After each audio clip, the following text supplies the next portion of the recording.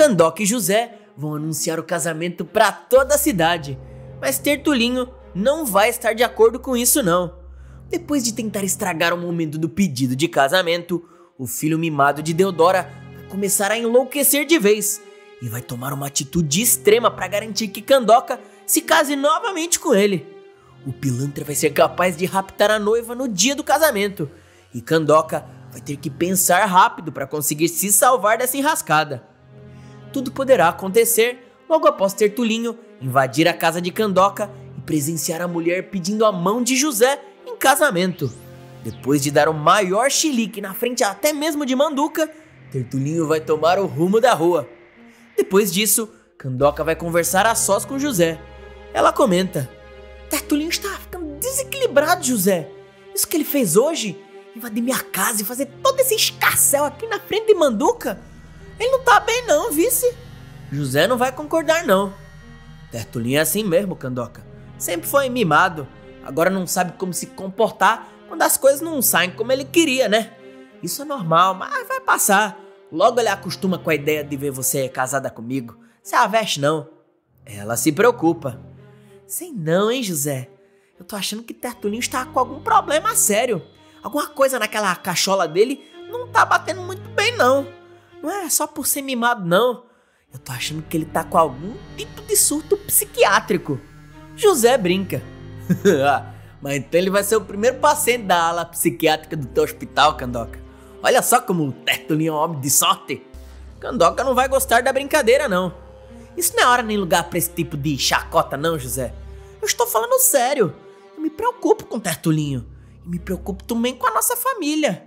Eu não sei o que é que esse surto pode significar. Ele pode acabar se colocando em risco. Ou colocando algum de nós em risco. José diz: Fique tranquila, Candoca. Tu tá pensando demais. Esse showzinho que Tertulinho deu não foi a primeira vez, não. E nem será a última. Se vamos ficar aqui em Canta Pedra, temos que aprender a lidar com isso. Eu acho que lidamos muito bem com a situação, vice? Enquanto isso, Tertulinho vai conversar com Deodora. Ele desabafa. Ela me humilhou amanhã, na frente de Manduca ainda por cima. Ela que fez o pedido de casamento para ele, na minha frente. O que é pior, eu fiquei lá com cara de otário. Deodora fala: Oxente, não fique assim, não fique assim, meu filho. Ela não lhe merece.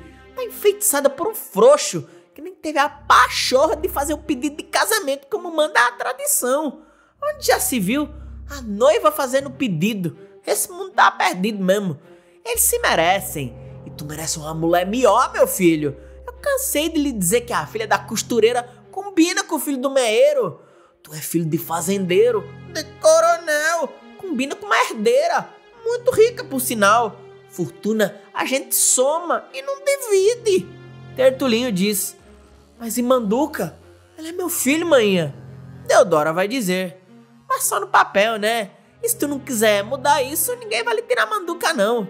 Tertulinho questiona: Manhã, tu acha que ela ainda me ama?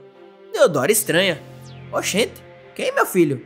Ele diz: Ora, como quem? Candoca, né, manhã? É claro quem mais seria. Tu acha que ela ainda me ama? Deodora passa a mão nos cabelos do filho e diz: Ah, esquece essa mulher, Tertulinho. Esquece. Ela já lhe esqueceu. Ele se levanta e fala: gente, tu tem muita razão, manhã. Tu tá certa. Candoca já me esqueceu. Deodora comemora a virada de Tertulinho, pensando que ele finalmente entendeu que merece uma mulher de posses em sua vida. Mas a verdade é que o mimadinho está ficando cada vez mais louco. Sozinho em seu quarto, ele vai dizer: É isso, é isso, Candoca me esqueceu. Ela tá hipnotizada por aquele patife, aquela lombriga anêmica. Vai saber o que ele aprendeu lá pras bandas do Oriente Médio, aquele príncipe mentiroso. Ele deve ter aprendido uns voodoo, umas amarração pro amor. Se não fosse assim, Candoca não ia fazer o pedido de casamento para ele. Não, não. Ela sempre foi uma mulher romântica. Ela ia esperar que o pedido viesse dele. Eu tenho certeza disso. Tertulinho vai andar de um lado pro outro, bolando suas teorias mirabolantes e ficando cada vez mais maluco da cabeça. Ela ainda me ama. Só que ela se esqueceu disso. Eu preciso dar um jeito de fazer Candoca se lembrar que me ama. Os dias vão se passar e Candoca vai estar cuidando dos preparativos para o casamento. Ela vai escolher a decoração para a igreja e vai acertar os detalhes com Lorena e com o Padre Zezo. Tertulinho vai passar por ali bem na hora e Candoca vai perceber que ele não está bem. Ela questiona: Tertulinho? Tudo bem, é? Se tu tiver um tempinho, acho que a gente podia ter uma conversinha, não acha não? Ele diz: Pode falar, Candoca, pode falar. Eu só vim para ver como tava ficando a igreja. Tá bonita, vice? Mas tava mais bonita quando a gente se casou. Tu lembra? Tu lembra? Foi uma cerimônia muito bonita. Ou já se esqueceu? Candoca fala. Oxente, claro que eu me lembro, Tertulinho. Foi muito lindo mesmo o nosso casamento. Eu tenho muito carinho por aquele dia e pelos 10 anos que passamos juntos, vice? Ele começa a se afastar e Candoca questiona. Onde é que tu vai, Tertulinho? Tu não vai comparecer ao meu casamento, não? Tertulinho comenta. Isso que tu falasse, Candoca, que tem muito carinho por todo o tempo que passamos juntos, isso é mentira, isso é lorota. Tu já esqueceu de tudo. Esqueceu de mim, do nosso casamento, esqueceu de tudinho. Eu não vou comparecer em porcaria de casamento nenhum, não. Eu não vou ser testemunha do maior erro da vida da mulher que eu amo. Tertulinho se afasta e Candoca fica desolada. Padre Zézio e Lorena tentam confortar a mulher. Zezo diz: Oh, gente, fique assim não, Candoca. É muito difícil para algumas pessoas seguirem em frente. Mas você precisa seguir em frente com a sua vida. Não deixe que ele seja uma âncora te prendendo ao passado, não, mulher. Lorena completa. Deixe Tertulinho pra lá, Candoca. Teu verdadeiro amor sempre foi Zé Paulino. A vida lhe deu outra chance de ser feliz de verdade. Aproveite, menina, aproveite. Mas Candoca lamenta. Isso é verdade, mas Tertulinho também foi muito importante na minha vida. Eu não gosto de ver Tertulinho assim tão amuado, tão derrotado. Isso não tá fazendo bem para ele, não. Lorena então fala: Oxe, Candoca, quem tem filho grande é elefante, vice? Tertulinho é um homem feito, precisa aprender a lidar com as coisas da vida, né? Se tu quer saber, na minha opinião, isso aí é tudo culpa de Teodora, que me manda demais esse daí. O padre Zézio interrompe. Olha, vamos parar de falar da vida alheia que nós temos um casamento para preparar, não é mesmo? Lorena e o padre voltam para a igreja e ela comenta: Olha, tio, gostei nada do jeito de Tertulinho, vice. Pra mim ele tava fora de si. O padre Zezo comenta. Eu preciso lhe confessar que eu também não gostei não, viu, Lorena? Ele tava com um jeito muito estranho. Parecia que tava possuído. Lorena se assusta. Credo, tio! Possuído por algum espírito ruim, é? Não é melhor fazer um exorcismo? Zezo comenta. Não é isso não, Lorena. Possuído por um sentimento. Um sentimento ruim de remorso, de vingança. Ele precisava de ajuda, mas não parece que está disposto a buscar por essa ajuda, não. Lorena se preocupa. Mas, tio, tu acha que Tertuliano é capaz de cometer alguma inconsequência? Alguma loucura? O padre diz: Disso eu não sei, não, minha filha. Mas eu vou rezar para que ele encontre a paz que tanto precisa nesse momento. Lorena completa: Pois eu vou rezar também, sabia? porque o caso dele tá mesmo é muito complicado. Tertulinho então vai tomar a sua pior decisão. Candoca não pode se casar com Zé Paulino. Candoca é minha mulher, minha de mais ninguém. E vai chegar o dia do casamento e Candoca vai estar se arrumando com a ajuda de Lorena e Labib. Lorena comenta: Candoca, tu tá ainda mais linda nesse vestido do que antes, vice? Labib fala: Eita, que esse era o vestido que sua mãe fez pro seu casamento com Zé Paulino, não foi? Candoca confirma. Isso mesmo. Eu guardei esse vestido como uma lembrança. Jamais imaginei que eu fosse estar vestindo ele para me casar com José. Eu sonhei, eu sonhei muito. Eu fechava os olhos imaginava o meu Zé Paulino me esperando no altar da igreja. E eu com esse vestido. Mas nunca passou pela minha cabeça que eu estaria hoje realizando esse sonho. Lorena abraça a Candoca e fala: Vale a pena sonhar, Candoca. Oh, se vale. Labib comenta: Isso é bom pra Candoca, que tem sorte no amor. O amor que voltou até do além pra ela. Eu não dei sorte, não. Candoca fala: gente, deixe de dizer besteira, Labib. Tu passou a vida toda sonhando com um príncipe encantado no meio do sertão. E agora vai ficar reclamando de barriga cheia, né? Vem cá e me dá um abraço logo. Mas nesse momento, Tertulinho bate na porta.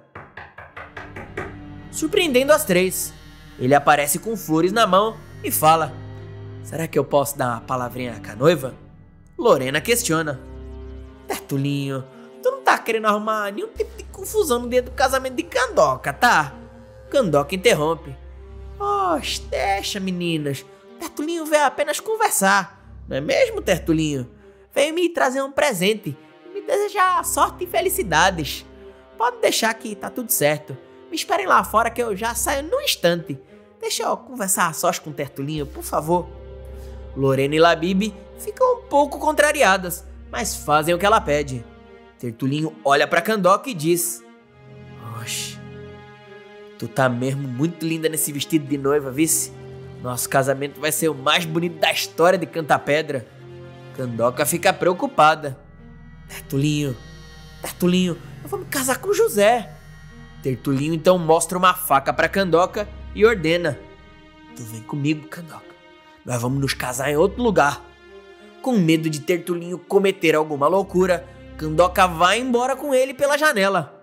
Algum tempo depois, Lorena e Labib começam a estranhar a demora de Candoca e quando entram no quarto, percebem que está vazio.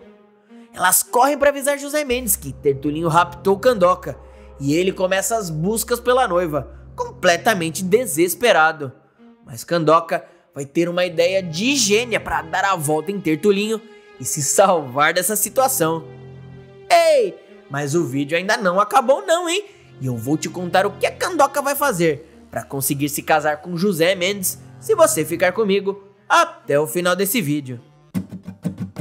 Mas antes de continuar, eu peço que você se inscreva, clicar no botão gostei, antes que você se esqueça pro YouTube te avisar. Quando tem um vídeo novo é só ativar o sininho. Um abraço pro meu povo. Me diz uma coisa, você acha que o Tertulinho vai acabar preso por suas maldades? Ou ele vai ficar impune?